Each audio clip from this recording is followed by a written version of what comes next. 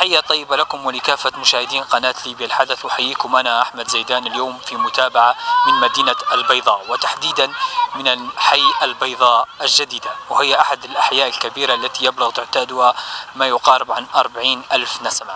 هذا الحي حقيقة يعاني من ال- البنية التحتية المتهالكة أو بالمعنى الأدق لا يوجد بنية تحتية سواء كانت في المياه أو الصرف الصحي.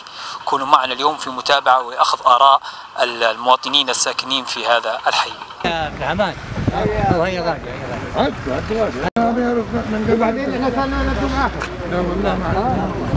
ما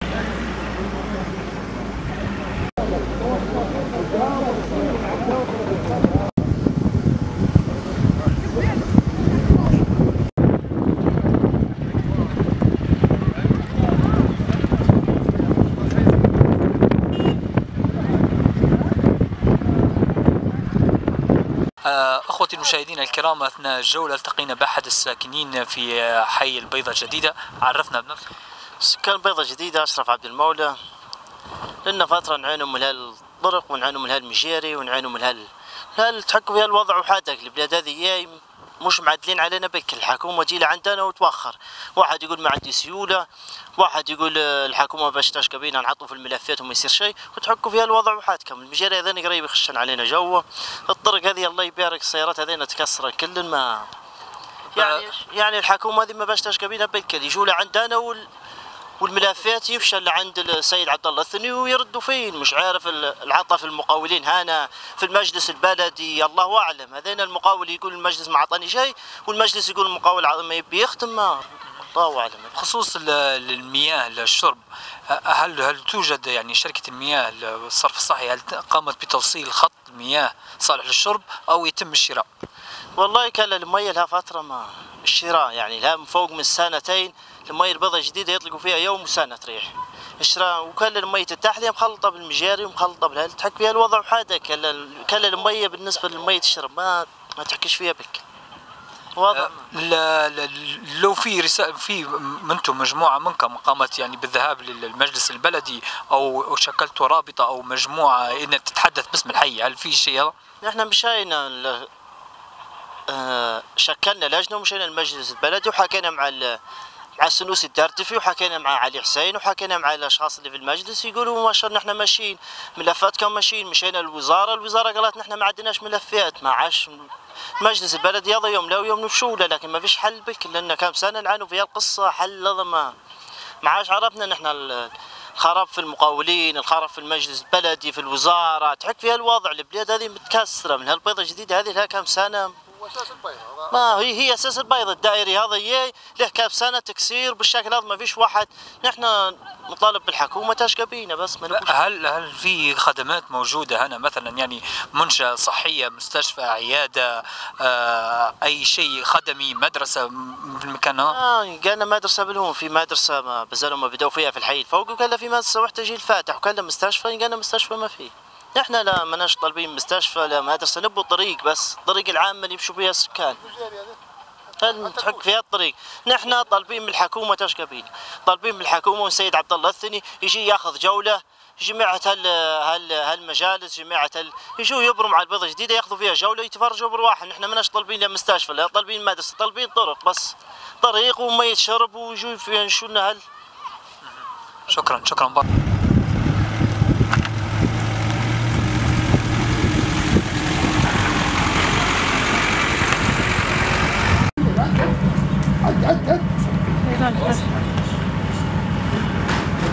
لا حول الله هاي عدي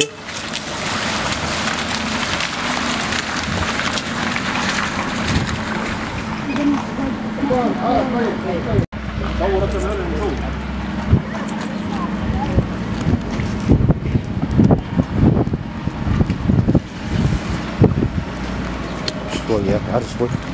خشوا بشوية.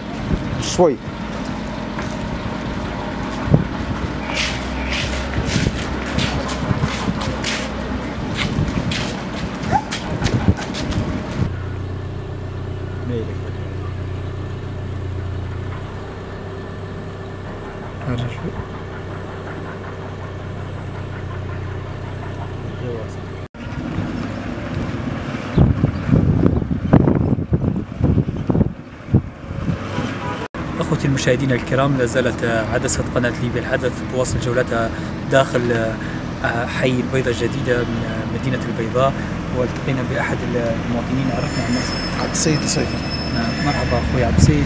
يا ريت تحكي لنا على أوضاع البنية التحتية في حي البيضة الجديدة بالإضافة إلى ال- ال- مشكلة المياه والصرف الصحي وغيرها من المشاكل اللي تعاني منها منطقة حي البيضة الجديدة. السلام عليكم. والله بالنسبة للطريق هذه كانت آه، قطران. وجت البلديه وسح- وسحتها أساس لنا طريق جديدة. ولها القصة هذه لها ثلاث سنين تو. شالوا الطريق الأولى وقعدت بالشكل هذا شوف البخار الوزير قاعد بالشكل هذا لثلاث سنين. والمجاري يتصب من الحي العلوي يتصب علينا لو. عرفت؟ وفي الأمطار بالنسبة للشتاء غرقات؟ غرقات حتى السيارة ما عاد تخش. زمان آه أيوه. وبالنسبة للحفرة هذه هذه هي تغرق في أول شيء. حتى المستودع بتاع الغاز هذه هي بس بتاعها والله ما مو متعب ال- العمال اللي اخذناهم جليناه لفوق في الباطل هذا بالعكس عرفت؟ أيوه يا وهذا الحال. وبالنسبة للمي نشتري فيها اشتراء والله ديما مقطوع هذا بالنسبة لمشكله ال- ال- المياه التقينا بأحد المواطنين. تحدث وقال إنه مشكله المياه أيضا اصبحت مش في الشارع حتى ال- الشخص اللي البائع اللي تشتكي منه صاحب السيارة الكبيرة لما تشتكي منها. عاش يجيك مرة. كيف المشكلة هذه؟ كيف أما الطريق عاجيك مرة. تجي تدور صاحب سيارة جديد مش عارف الطريق باش باش تجيبه. وتجيبه يصب لك مية ومره مرة ثانية ما عادش يجيك يقول لك وين؟ في البلد الجديد لا؟ لا اسمع بالنسبة لل- للخدمات اللي موجودة في الحي يعني سواء كانت خدمات صحية سواء كانت عيادة أو أو منشأة صحية أو منشأة تعليمية شنو موجودة في الحي هذا اللي اللي آه، أنتم كساكنين في الحي هذا آه، قدمتم كخدمات تعليمية أو خدمات صحية. المدرسة الوحيدة. زين فاتح صالح الوحيدة. بالنسبة لل- لل- للمرافق الصحية بم- بالنسبة لنا عدد كبير هنا محتاجين وحده صحية أو عيادة؟ بعيد منا آه، هذا رقم ستة. مش هنا، بعيد. بالنسبة للمدرسه الوحيده شنو شنو شيء اخير ممكن تضيفه أنت؟ والله يا رجل نتمنى من المسؤولين يعني يبحثوا في حال ال- ال- على الطريق بس. الطريق هذه ينهوها ما ما ما ما, ما كانوا ما يقدروش ينهوها ما كانوش يشيلوها من الأول. كان الطريق قطراني لكن شالوها سيبوها سيبوها بشكل مشكور مشكور. سيد بارك الله فيك. بس هذا الماقف لا مش براني السيد. لا صيده في ميم. قالوا صيده في ميم.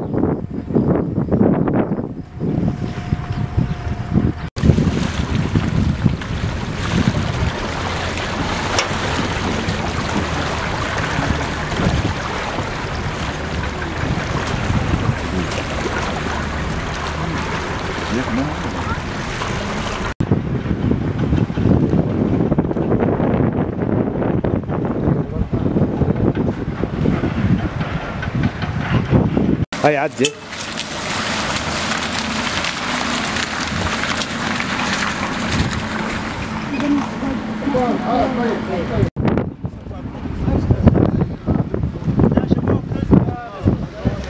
السلام عليكم ورحمة الله وبركاته. شكرا للقنوات على الحضور. نوري أحمد الشظوف من سكان المنطقة. ونشكر الحاج ونيس آه، الحسنوني. هذا أب لثلاث شهداء. والأستاذ عبد الناصر حتى هو المصاتي عنده شهيد والحي هذا يمر ب- ب- بأزمة من زمان وخاطبنا جميع الجهات وخاطبنا البلدية وخاطبنا الدنيا كلها. في شتاء مية ما تقدرش ما نقدرش تصورها لك كلها هذا المكان كله يغرق ومية الشرب توا شبه تخلطت. ما تجيش أصلا. مية التحلية في الحي موجودات الآبار ولكن ما تجيش للحي هذه اولا. وثانيا شوف مختلطة بال بال بالماء المجاري يعني. واللي متضررين منها حاليا المجاري. المجاري طبعا أنت عارف. ال- هالناموس وهالعالم هذا كله جاء في الحواشين. ونحن مواطنين بسيطين ما عندناش القدرة. يوم ما نقدروش حتى نجيبوا حتى حق جعبة حشاكم يعني. فنحن نطالبوا بسيادة آه، عبد الله الثني والجماعة كلهم اللي في هالحكومة أنهم ينظروا نظرة لهالناس ولهالحي والحي كله مشي لقدام كله وساحب كله وميت المجاري هاي قدامكم. فنبوكم مطالبة بخ- وشكرا للقناة 218 وقناة ليبيا الحدث عليها ال- ال- الحضور البارز والناس كلها رقدتها رياح وما عندهاش باش تصرف. لا نقدر نجيبوا سيارة مجاري ولا نقدر نجيبوا أنتم عارفين حالة المعاشات والسيولة وال... والناس ظروفها صعبة واللي هذا محصل قطعة رخيصة يبي يبنيها غرق في الشتاء. ال- ال- العقار رقاء والناس ما قريب تسكن في براري قريب ردوا لورا. من بعد ث- ثورة آه، آه، فبراير آه، 2011 قريب ردوا لورا أخرى نسحبوا نزيدوا لقدام ونسقموا وحلمنا لكن الله غالب عاد. هذا اللي صار. قال آه، هذا اللي هذا اللي عندنا والمطالبة جمعية كلها وباسم هالناس الشهداء وهالأبهات واختلطت مياه المجاري بالتحلية ونبوا نظرة نبوا نظرة ونبوا آه، جادة لهالموضوع هذا. وفي شركة جاية لكن ما قدرش يكمل. يعني في شركة أو جاية لكن ما يقدرش يكمل العمل بتاعه. تنتهى قصة المجاري. وقصة الفلوس وقصة قصص واجدة. يعني واحدة علقه في واحدة جت على روسنا يعني. فنرجو رجاء من الإخوة الداعمين ال- رجال الأعمال ال- الحكومة السيد عبد الله الثني انهم ينظروا نظرة للحي. ورانا نحن ما عندناش ما نديروا فايدة المناشدة فقط والله ما عندنا ما نديروا هذه هذه القصة كلها. ونحن يعني نسال نسألك بالتواجد والنظر والصور كفيلة بالكلام. شكرا جزيلا.